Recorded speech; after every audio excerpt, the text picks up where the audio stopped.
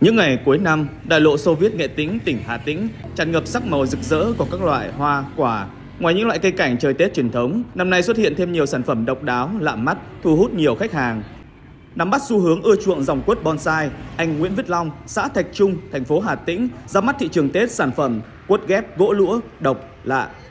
Những tác phẩm của anh mang tính hình tượng, mỗi chậu cây sẽ bài trí các tiểu cảnh như cổng làng, thác nước, tiên ông ngồi trên tảng đá, đặc biệt nhất là song quất ôm gỗ lũa.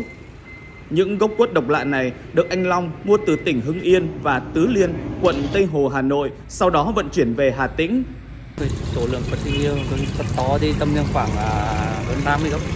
Nó dao động từ 20, 30 rồi có thể là có gốc 7, 8 chục triệu thì gọi là năm nay thì số gốc cốt gãy thì à, làm theo ờ, kiểu à, là gọi là tiểu cảnh ấy. Thứ hai là vấn đề một số gốc thì làm trên gốc ghép trên thân gỗ lúa ấy các loại gỗ quý ấy. Cây uh, lớn thì tầm 30 rồi có cây thì uh, tầm 40 đến 80 triệu đó. Còn vừa vừa thì cây uh, 20 thì cây này thì gần gần 20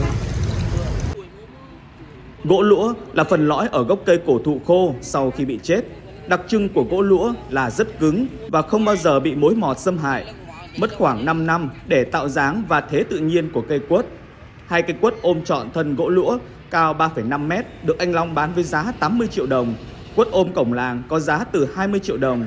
Ngoài ra, những chậu quất phong thủy có giá bán từ 10 đến 15 triệu đồng tùy mẫu mã, chủng loại.